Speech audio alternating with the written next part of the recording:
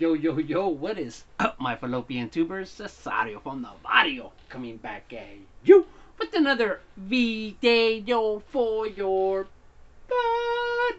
And just gonna make another quick video. I uh, went through my vintage box, a different vintage box, and just pulled out a couple of cards. Thought I'd go through them. Check out this, like this 76 Oscar Gamble.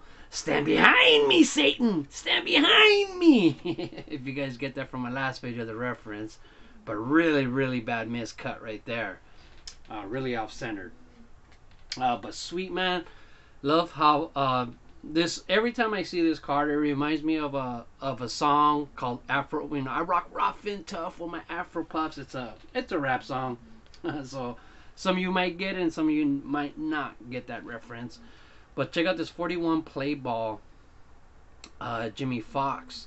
So if you were to see this card in black and white, it was a 1940. So they had these cards in 1940 in black and white, and then in 1941 they just added color to the same picture on most of them, not all of them. Uh, Warren Spahn 58. Sweet right there. This is a double that I have. I have two Warren Spahn, so I normally keep my best condition card in my um, binder, so this will be in worse shape than the one that's in my binder. I prefer to keep the best card in my binder. Uh, check out this Baseball Thrills Willie Mays. Such a badass card. The whole Baseball Thrills um, inserts, I really don't like to call them inserts because they're just part of the regular number set. But this Willie Mays catch, greatest catch at the time ever made. You know, um, I don't become such a homer where I try to say this there's never been a better catch than this, but this paved the way, let people know stuff like this was possible. Now Tim Salmon's catch, we did practically the same thing, but diving, whew, sweet catch, man. And we got this 79 uh, liters of Rich Gossage and Rollie Fingers. Man, and back then, if you could see, they were called firemen. All right. The relieving and stuff like that wasn't really part of the game.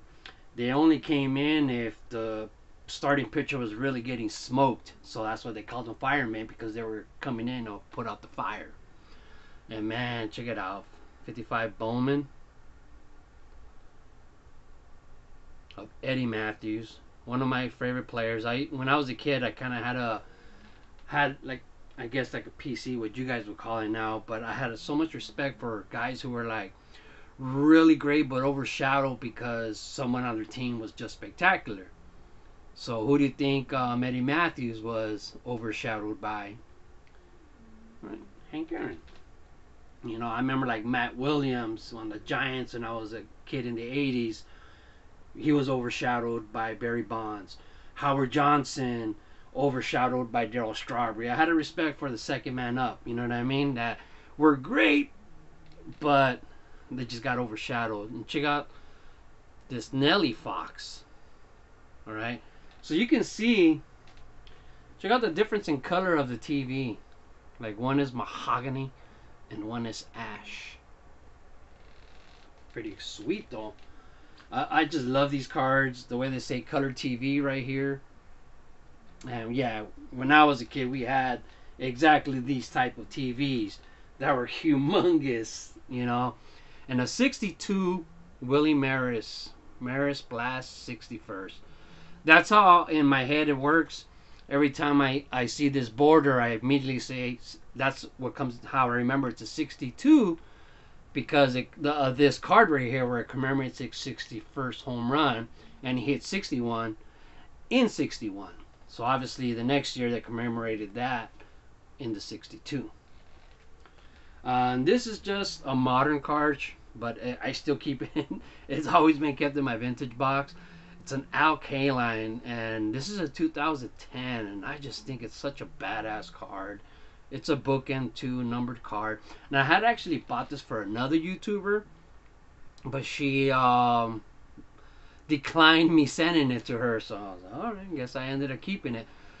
But I, I'm always so so amazed because I'm really not a fan of uh, what a group I was in started calling deathbed autos. You know when uh, the stars are older and they sign and they're shaky and just not that great, like if they're in their deathbed. So I've always had that on my head, deathbed autos, and this one, man, he was an old man when he signed this, but it, wow, no shaky, just bakey right there. And I got a Ron Tompkins uh, rookie card. Sweet man, from the uh, 68 set right there, the burlap. All right, and a 54 Bowman, I believe Martin. Now this one I just purchased recently. This is like one of my most recent purchases, and I just wasn't sure if I even had a Billy Martin, man. But look at that guy. He's a thin dude. He was a great guy. Uh, he got traded from the Yankees because they thought he was a bad influence on Mickey Mantle. And um, some may argue that Mickey Mantle was really the bad influence, but Mickey Mantle had better numbers. And I think this is a it's a hostess card.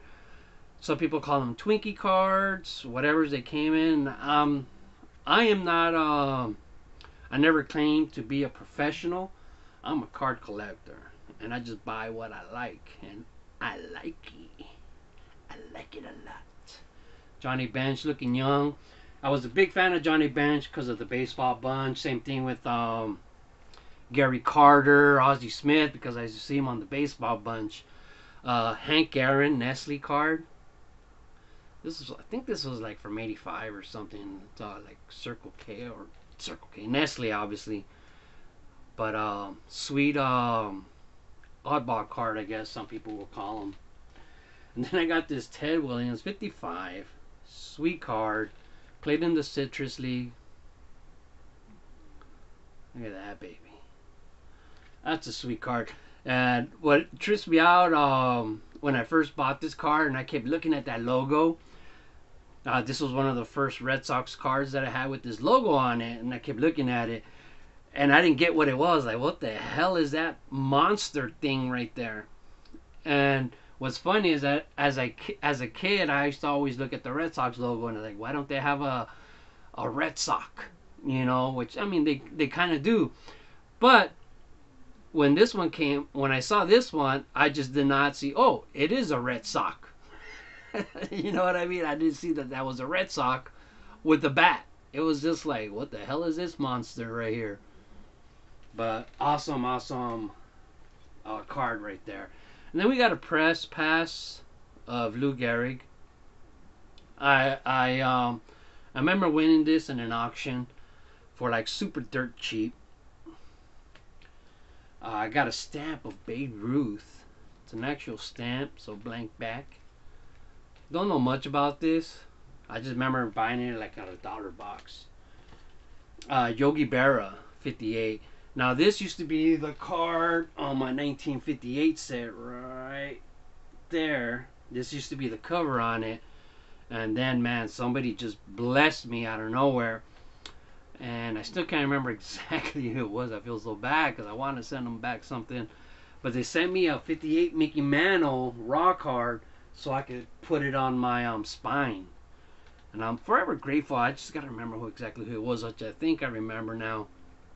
Uh, but this used to be the cover on that, and so this is a double because I have, uh, like I said, I always put the better version if I have doubles inside my binder. So that used to be on the spine on my binder. Willie McCovey rookie card. Believe these are 1960, right? Just look, um, they don't really look exactly like the rest of the set do. But the trophy card, man, look at that trophy.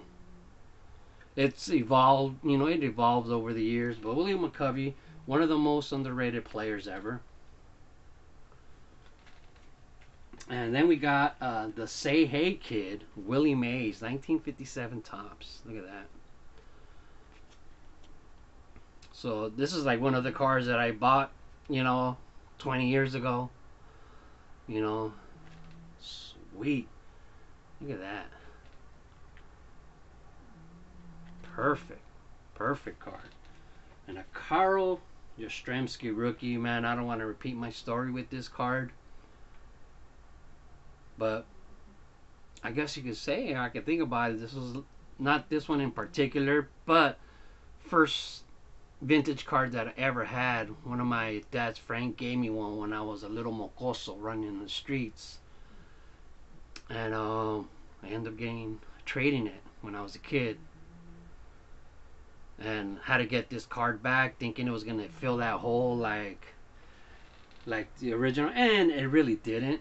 I wish I never made that trade ever, and I had the original one, but there's the Yastrzemski rookie, and um, if I'm correct, I don't think he was actually a rookie until 19, 1961. So you could say this was his prospect card, but growing up, we never, nobody ever said prospect card or, you know, uh, pre-playing card or whatever you want to call it. Uh, this was just his rookie. Back in the days, we considered his first card his rookie. Uh, Ted Kluszewski, one of the greatest cards, and I used to always wonder like, how come he doesn't have any sleeves? Does a lot of people say? I remember hearing a lot of people would say like, oh, he cut off the sleeves, and it wasn't really till um, when I was working at USC and I saw how the players they have an undershirt that goes with this jersey, and this is the top piece. You can't, you're not supposed to wear it without the with the other piece. I was like, okay, he just didn't wear the underlining piece. But man, this to me is just such a great historical card, showing off his guns. You know, back then people weren't into lifting weights. If you were a big dude, you were a natural big dude from whatever you did at home. You know, working with wood, pushing cars, working in the coal mines and just gonna round it off with a couple of stamps that I have. Check out this Dusty Baker. Um, I have the whole Atlanta run from I don't know what year this is, but it's the Dusty Baker. Darrell Evans was one of my favorite PCs growing up because I used to collect um uh, in the 80s, I would love the cards of the players with the longest careers, with the smallest number. I was like, who has the smallest number? Because the longest your career was, uh, the smaller your stats were in the back to fit them in and Darrell Evans was right up there with like Jose Cruz, you know, Bert Blyleven, just people who had crazy long careers. Uh, so did um like say Nolan Ryan, but in the '80s his career wasn't as long as he ended up with, you know. But Darrell Evans, Hank Aaron, like for for um so like I said, I, have, I think I have like the whole Braves team. oh, that one's upside down. All right, but anyways, love the hobby, and just keep collecting baseball cards forever, ese. Ciao. Vintage cards forever, ese. Mr. Taliman, I like a banana. Look at my two donkeys. My two donkeys always chilling with me. I know they I never show them in the videos, but they're here every time.